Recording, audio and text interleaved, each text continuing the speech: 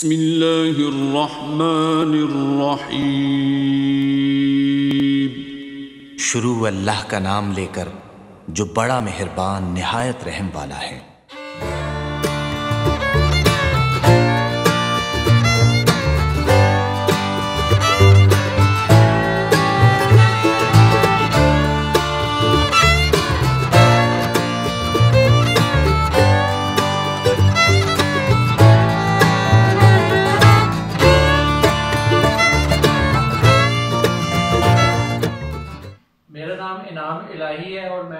Artist ہوں تو میرا جو آبائی شہر ہے وہ چنوٹ چنوٹ ہے اور بچپن میں چونکہ ہم ٹیکسلا میں مقیم تھے تو وہاں پڑھائی مکمل کرنے کے بعد میں نے میٹرک کرنے کے بعد وہاں کی ایک لوکل ٹرک ورک شاپ میں جانا شروع کیا کیونکہ شروع سے ہی مجھے ٹرکوں پر لگے ہوئے پھول بوٹے اور کلرز وغیرہ وہ متاثر کرتے تھے تو وہاں میں نے کوئی ایک استاد کے زیر سایہ کام شروع کیا، دو تین سال میں نے ادھر کام کیا۔ اس کے بعد پھر مجھے کام کا یہ شوق ہے، مزید بڑھا۔ پھر میں لاہور آ گیا اور یہاں سے میں نے پینٹنگ کا ڈپلومہ کیا، جس میں رائٹنگ کیلیگرافی پورٹریٹ لینڈسکیپ اور یہ ساری چیزیں وہاں سکھائی جاتی تھیں۔ اس کے بعد میں دوبارہ مطلب کہ ٹیکسلا گیا وہاں میں نے پینٹنگ کی شاپ بنائی۔ وہاں میں نے تقریباً پانچ چھ سال کام کیا۔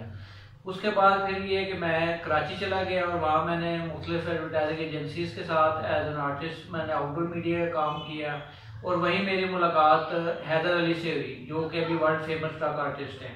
تو ان کے ساتھ میں نے تقریباً کوئی تیرہ چودہ سال ٹرک آرٹ کا جو کام ہے وہ کیا۔ ابھی جو ان سے میں تقریباً کوئی عرصہ، تقریباً تیرہ چودہ سال سے ہی میں ادھر لاہور میں رہائش پذیر ہوں۔ اور ٹرک آرٹ کا میں کام کر رہا ہوں۔ ساتھ میں ایک ایجوکیشن آرگنائزیشن ہے، وہاں میں ایز این آرٹسٹ کر رہا ہوں، وہاں میں بچوں کو بھی سکھا رہا ہوں، ساتھ میں ٹیچرس کو بھی ٹرین کر رہا ہوں۔ اور ٹرک آرٹ کا جو کام ہے، وہ میں کر رہا ہوں۔ لوگ یہ کہ اپنے مطلب کہ انٹیریئر میں کروا رہے ہیں فرنیچر کے اوپر ہو رہا ہے۔ ایک دو فیشن برانڈ ہیں، ان کا میں کام کر رہا ہوں۔ مطلب کہ لیڈیز جوتے ہیں، ان کے اوپر کام ہو رہا ہے بیگز ہیں، ان کے اوپر ہو رہا ہے۔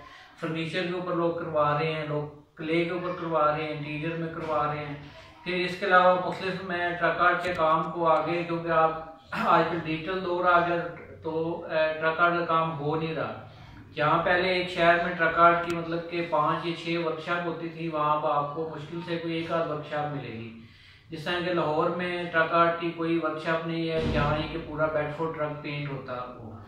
اس وجہ سے ٹرک آرٹ کو زندہ رکھنے کے لیے، اس کی پروموشن کے لیے میں مطلب کہ مختلف اسکولس وغیرہ میں جا کے وہاں بھی میں ٹرک آرٹ کی ورک شاپ کروا رہا ہوں تاکہ ہماری جو نئی نسل ہے، وہ بھی اس آرٹ کو سیکھ سکے اور آگے مطلب کہ نا اس کو بڑھا اب میں آپ کو تھوڑا سا نا ٹرک آرٹ کی ہسٹری کے بارے میں بتانا چاہوں گا کہ یہ کہاں سے شروع ہوا، کیسے شروع ہوا، اس کا اوریجن کیا ہے۔ تو ٹرک آرٹ جو ہے نا، یہ اصل میں تو یہ اس کا اوریجن تو مطلب کہ انڈیا انڈیا میں ہے۔ تو وہاں سے یہ بامبے سے جو ہے، وہ شروع ہوا۔ تو جب یہ کہ نائنٹین فورٹی سیون میں جب مطلب کہ لوگ وہاں سے مائگریٹ ہو کے ادھر آئے تو وہ اپنے بیل گاڑیوں پہ، اونٹوں پہ آئے تو کچھ وہاں سے جو نقش و نگار ہیں وہ اپنے بیل گاڑی کے اوپر مطلب کہ انہوں نے بناتے تھے۔ کچھ اونٹوں پہ جو اونٹ گاڑی ہوتی تھی اس کے اوپر وہ بناتے تھے۔ تو جب مائگریٹ ہو کر آئے تو اس ٹائم کیونکہ اونٹوں کا بیل گاڑیوں کا، بگیوں کا، ان چیزوں کا دور تھا۔ تو اس کے اوپر لوگ جو ان سے ہیں نا، وہ اپنے جو نقش و نگار ہیں، جو پھول بوٹے ہیں، وہ مطلب کہ بناتے تھے۔ اس کے بعد پھر آہستہ آہستہ یہ مطلب کہ تانگوں کے اوپر آ گیا، پھر یہ کہ رکشوں کے اوپر، بسوں کے اوپر، پھر یہ ہے کہ یہ ٹرکوں کے اوپر ہونے لگ گیا۔ تو اصل میں اس کا جو ٹرک آرٹ اس کا نام جو ہے، وہ انگریزوں نے اس کو نام دیا ہے۔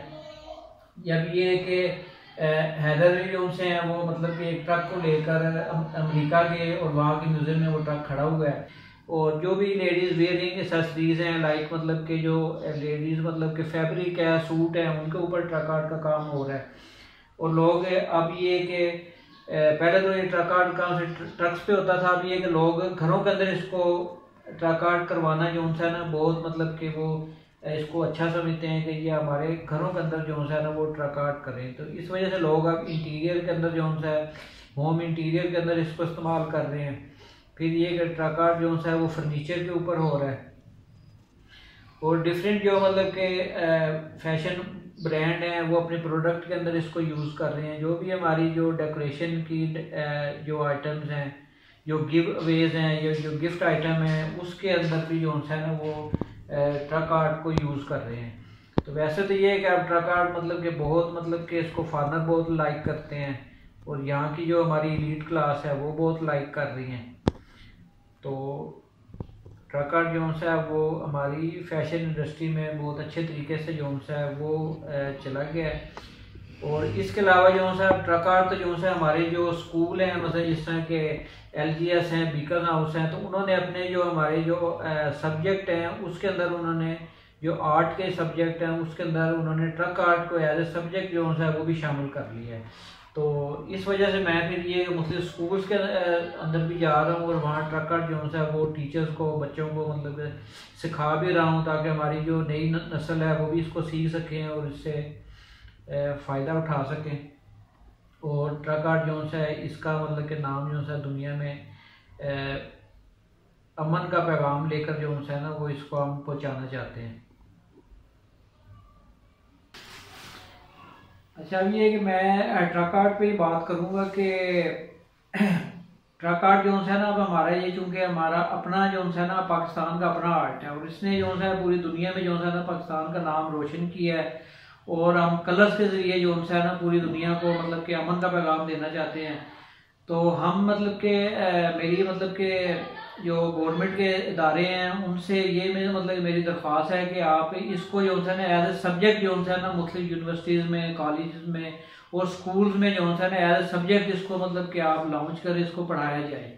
تاکہ جو ہماری نوجوان نسل ہے، وہ اس کو ہمارا جو یہ آرٹ جو ہے ہمارا ختم ہو رہا ہے اس کو زندہ رکھنے کے لیے، اس کی پروموشن کے لیے وہ مطلب کہ کام کریں اور یہ ہمارا آرٹ جو ہے نا دوبارہ جو ہے پہلے کی طرح نا قائم و دائم ہو جائے۔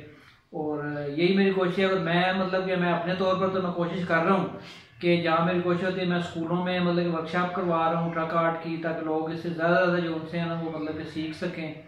اس کے جو بھی موٹیف ہیں ڈیزائن ہیں، کیونکہ یہ ہمارے جو کلچر ہے جو ٹریڈیشن ہے ہمارا، اس کی عکاسی کرتے ہیں، جو ٹرک آرٹ ہے۔